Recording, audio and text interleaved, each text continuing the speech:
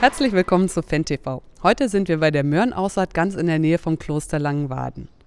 Die Landexpert OAG und die Laiennessel-Rode GbR haben dort 1200 Hektar verteilt auf acht Standorte. Sie werden unterstützt von vier Fendt-Traktoren ausgestattet mit Vario Guide, einem 720er, zwei 930er und einem 939er Vario.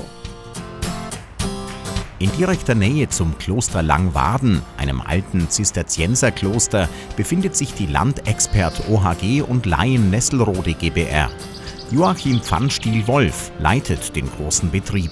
Wir bauen auf unseren 1200 Hektar vornehmlich Winterweizen, Gerste, Roggen und Zuckerrüben an, zusätzlich Raps und zusätzlich sind wir im Feldgemüsebau tätig mit ungefähr 70 Hektar Möhren, Buschbohnen und Erbsen für die Konservenindustrie. Da wir auf weit auseinanderliegenden Standorten arbeiten, wird bei uns die Datenübertragung von Vario Doc über GSM-Karten geregelt. Das RTK-Netz spielt bei uns eine große Rolle, weil wir das an allen Standorten in einem Radius von fast 80 Kilometer einsetzen können.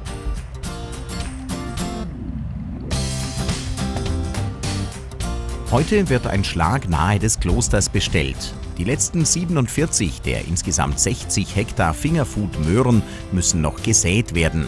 Der verantwortliche Fahrer Martin Bellen wiegt das Saatgut genau aus. Wir wiegen jetzt so lange ab, bis wir genau 3,3 Millionen Körner Hektar säen. Das exakte Abwiegen des Saatgutes ist hier besonders wichtig, denn zum einen braucht es für Sonderkulturen wie Möhren eine optimale Standraumverteilung, zum anderen geht es schlichtweg auch um Wirtschaftlichkeit. GPS angeschaltet, jetzt geht's los. Hier stellt man zum Beispiel drei Meter ein, so wie die Maschine breit arbeitet. Hier zum Beispiel für das Vorgewindemanagement und dann erscheint ja hier auch die hellblaue Linie. So, und dann genau wissen sie auch, wann sie ausheben müssen. Ihr sagt ja vor, fortlaufend, wie viele Spuren sie fahren da. Ich bin jetzt die sechste Spur gefahren. Das zeigt einem ja eigentlich alles da. Einfach wieder fahren, fahren, auf Automatik stellen, fahren, fahren, fahren. Perfekt. Mit dem Dokumentationssystem VarioDoc kann Martin Bellen über das Vario-Terminal alle relevanten Eingaben schon auf dem Feld vornehmen. Wenn man es einmal kann, ist es schon eine sehr, sehr schöne Sache.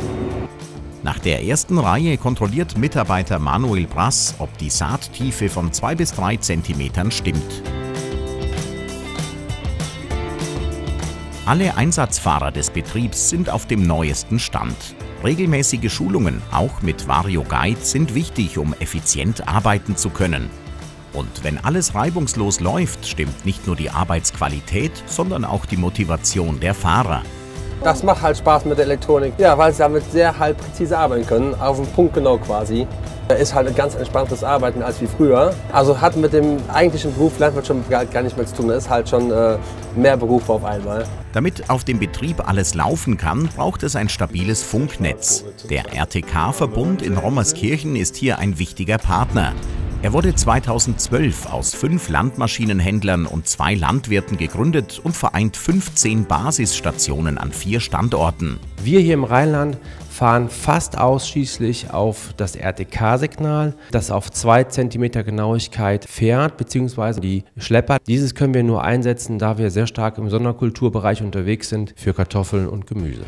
Für ihre Kunden hat sich das RWZ Agrartechnikzentrum gut gerüstet. In Bezug auf Biotronic bzw. GPS sind wir recht gut aufgestellt. Ich habe zwei Mitarbeiter in der Werkstatt dazu ausgebildet, die zweimal im Jahr auf Schulungen gehen. Mittlerweile machen wir auch schon Online-Schulungen oder Videoübertragungsschulungen mit Fendt, was sehr gut klappt. Von diesen Schleppern sind in den Baureihen 500, 700, 800 und 900. Ja, von zehn verkauften Schleppern mindestens neun vorbereitet heutzutage. Und von diesen vorbereiteten verkaufen wir über 50 Prozent auch mit einer Vollversion RTK Vario Guide. Der Betrieb in Langwaden arbeitet auch mit Vario Guide. Nach getaner Arbeit hat Martin Bellen seinen Einsatz auch schon mit Vario Doc Pro dokumentiert. Wenn Sie auf dem Feld fertig sind, gehen Sie auf Pause, gehen auf den grünen Haken und schicken das dem Chef am Computer.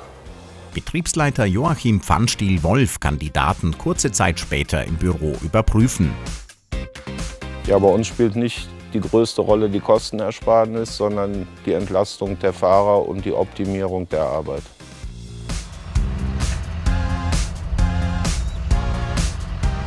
Wenn Sie noch mehr zum Thema Spurführung wissen wollen, dann schauen Sie bei uns auf die Fendt-Homepage unter Variotronic oder sprechen Sie einfach mit Ihrem lokalen Fendt-Händler.